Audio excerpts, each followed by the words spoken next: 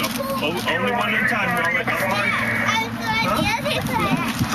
That's a screen that shows us how much gas we have in here. It's okay, Mackenzie. Okay. And then it shows us if our truck is running, it shows us our oil pressure, how hot the engine is.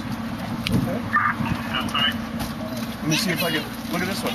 Want to notify the See that one there? It shows all the doors open on the fire truck. Street See, side it of the highway shows us that on the other side, the two doors in the back are open. It shows you that that door is open, that door is open, and this door is open. Now watch when I shut. See this right here? See that line right there? Watch it go away when I shut this door. See it go away? Now watch wh- watch when I open it. It pops right back up. That way it lets us know what doors are open.